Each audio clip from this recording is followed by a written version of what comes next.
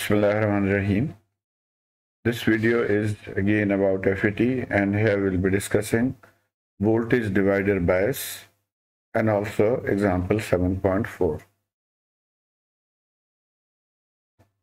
Now the voltage divider bias circuit is shown here. Basically if you look here, this is dividing the supply voltage into two parts and voltage across R2 is actually applied at the gate. So that is why it is called voltage divider bias.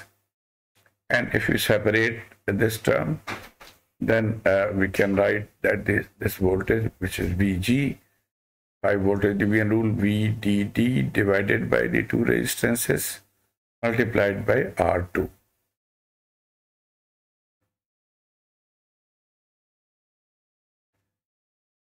And as we had done earlier also, we, we write the uh, KVL equation here to, to find the uh, network, network equation. So like by KVL, we start from here. Now this voltage VG is now present. So minus VG plus VGS plus VRS equal to zero. And manipulating VG is VG minus VRS so this is our VRS, we are writing IDRS. So this is our network equation.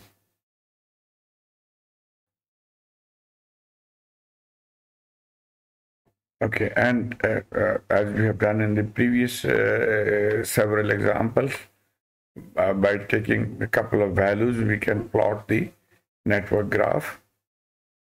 This is an FT line.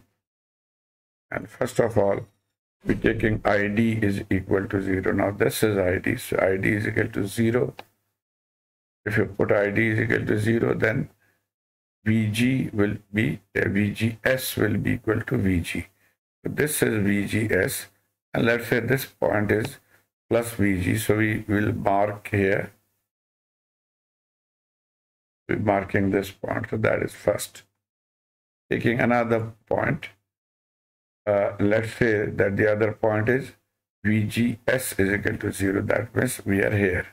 So if we put VGS is equal to 0, then we'll get uh, from here 0 and then ID is VG over RS.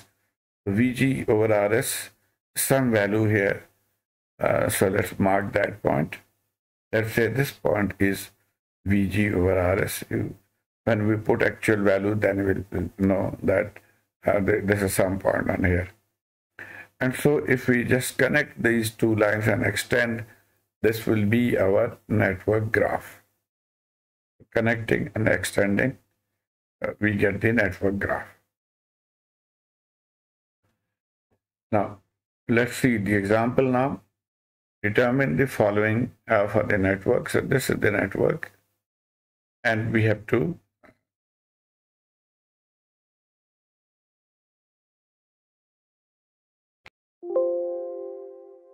example 7.4 says determine the following for the network. So this is the network and we have to find these uh, four, four, five items.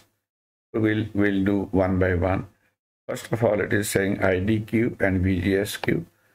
Again, we have learned from the previous examples that if we have the network uh, characteristics curve and the transfer characteristics curve, we can superimpose to find the Q points. So we'll do exactly same.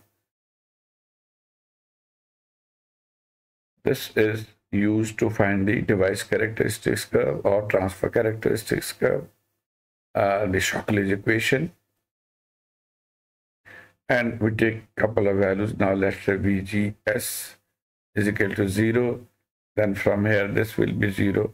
And so ID will be IDSS and IDSS is 8 milliampere. So this graph, uh, you can see when VG is 0, then it is at 8.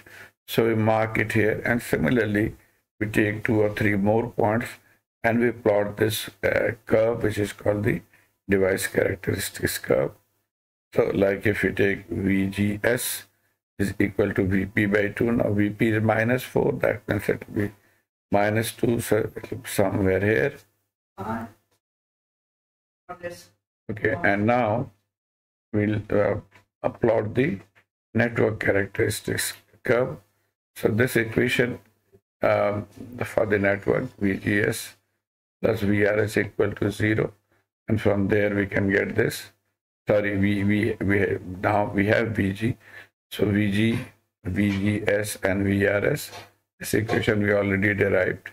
So VGS is VG minus IDRS, and now uh, first of all we have to find VG by the voltage division rule that we have learned earlier.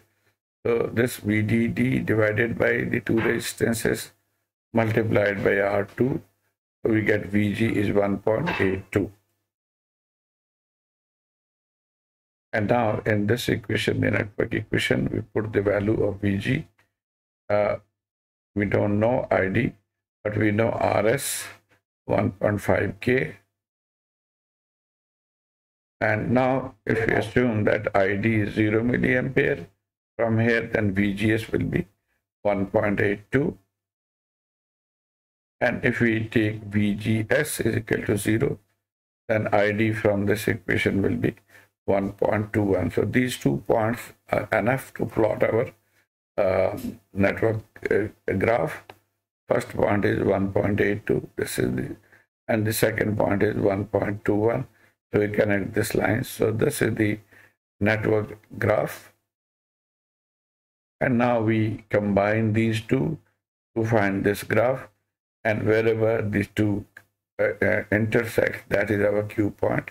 So you can see from here, IDQ is 2.4 milliampere and VGSQ is minus 1.8 volt. So that is our answer for the uh, first part. And now part B, uh, we have to find VD. So VD, that means this voltage here is VDD minus IDRD. And putting in the values, uh, we get VD as 10.24 volt. Next point was to find VS. VS is this voltage here, which is ISRS or IDRS. And again, putting in the value, we get VS to be 3.6 volt. And next is VDS. VDS is, uh, we can find this voltage minus this drop and minus this drop. So VDD minus IDRD and uh, plus RS, the same current is flowing.